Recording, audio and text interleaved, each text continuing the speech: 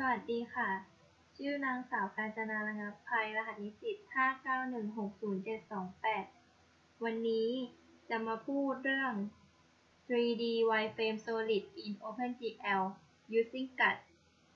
มันเป็นการพอตรูปให้เป็นแบบ 3 มิติ โดยที่เราจะมีการนำเอาในส่วนของ Texture เข้ามาด้วย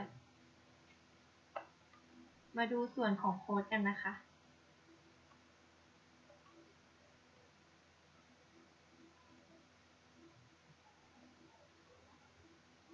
คำสั่งนี้คือ เคลียร์สีให้เป็นปกติ ส่วนคำสั่งนี้จะระบุแมทริกไหนเป็นแมทริกปัจจุบัน ส่วนคำสั่งนี้เป็นการนำค่าต่างๆ ที่เราตั้งมาใช้ และคำสั่งนี้คือการตั้งค่าสีให้เป็นสีหลัก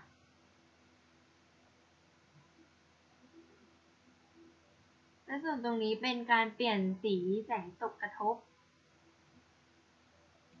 อันนี้คือเป็นการเปลี่ยนการกระจายแสง และตรงนี้คือเปลี่ยนแสงรอบๆ ส่วนตรงนี้คือการเปลี่ยนตำแหน่งของแสง ส่วนตรงนี้คือฟังก์ชันการส่งคืนค่าแสง และตรงนี้คือ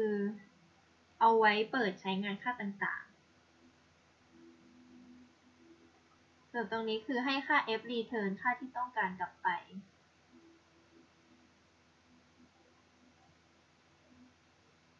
และตรงนี้คือให้ให้ norm array ที่ 0 มีค่าเท่ากับที่เราตั้งไว้ ส่วนตรงนี้คือกำหนดค่า d ถ้าค่า d มากกว่า 0 ให้เข้าลูปกำหนดให้ค่า k เท่ากับ 0 ถ้าค่า k น้อยกว่า 3 ให้บวกค่า k ขึ้นเรื่อยๆ ส่วนตรงนี้คือให้ norm array k เท่ากับ norm array k หาร square root d ส่วนตรงนี้คือคำสั่งเคลียร์สี ตรงนี้คือระบุแมทริกปัจจุบัน ส่วนตรงนี้คือเป็นการ เอาแมทริกเอกลักษณ์มาแทนที่แมทริกปัจจุบันตรงนี้คือค่าหมุนตามที่เรากำหนด แล้วก็มาเข้าในลูปส่วนตรงนี้คือการกำหนดค่า x y และ z ตรงนี้คือการกำหนดให้ค่า z z z เท่ากับ 0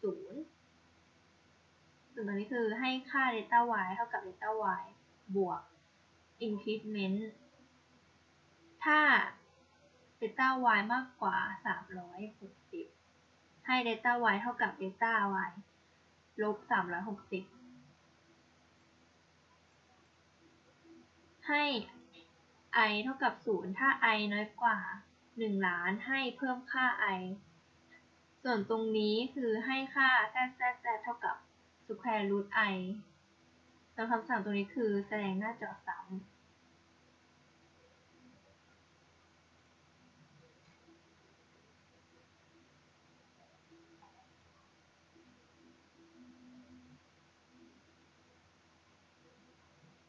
และนี่คือผลลันของโปรแกรม